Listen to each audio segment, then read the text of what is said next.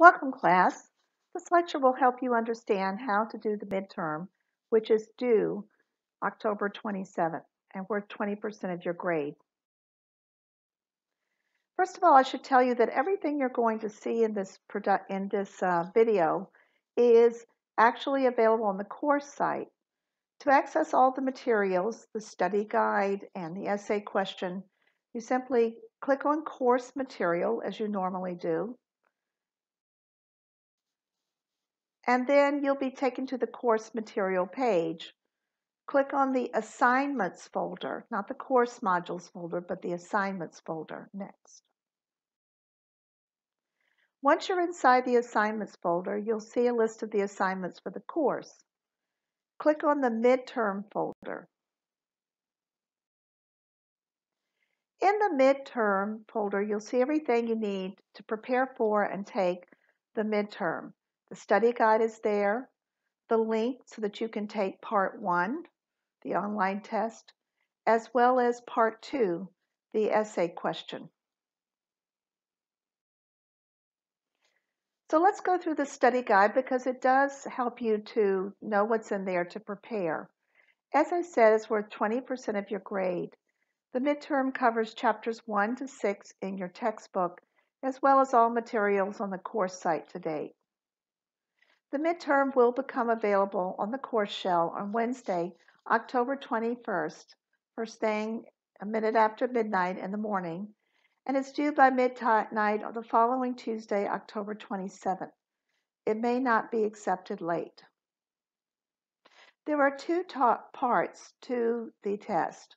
The first is an online test. Part one is an online test consisting of 37 multiple choice true false matching and ordering items. You have two hours to take this part and it must be taken in one session. So make sure that you've uh, done everything you needed to do and you're ready to sit down and devote one session to it.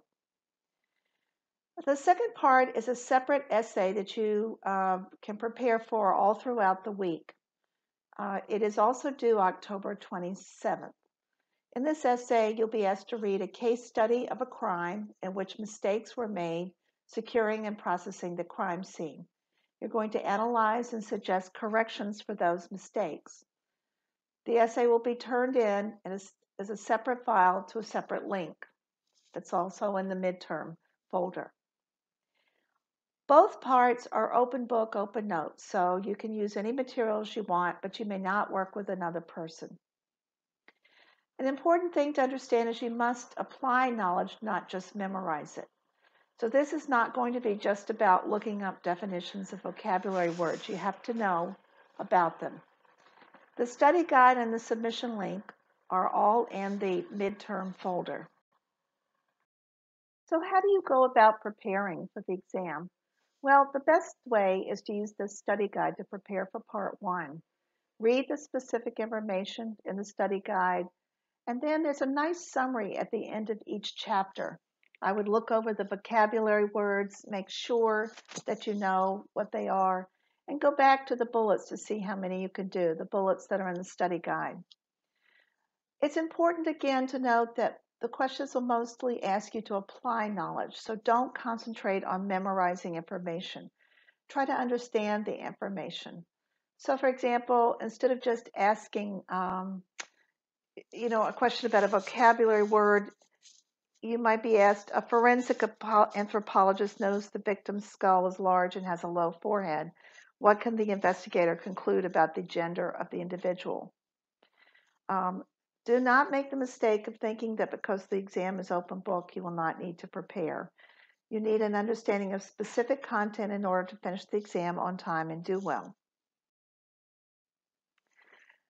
So there are two parts, as I said, to the exam. The first part, the multiple choice, true, false, matching, and ordering questions are worth 75% of your score, and the essay is worth 25% of your score.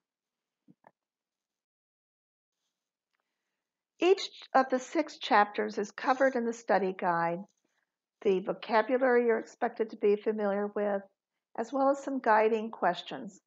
Students have been successful in the past by simply using this and making notes on the study guide. So, what is forensic science? You could look that up in your textbook and type an answer. What are the 11 sections of the American Academy of Forensic Science and what does each do? So, you could look all of this up and prepare notes. Again, there's one for each of the six chapters. In addition to part one, there's part two. There's a midterm essay question. And in the directions for this are also in the midterm folder. It is also due October 27th and is worth 25% of your scores. You're going to, number one, read the details of a crime scene. This, this crime scene is the O.J. Simpson case that was made famous a number of years ago, particularly for the mistakes that were made in the processing of the crime scene. After you read about it, you're going to write a one to two page double spaced essay that um, answers the following questions.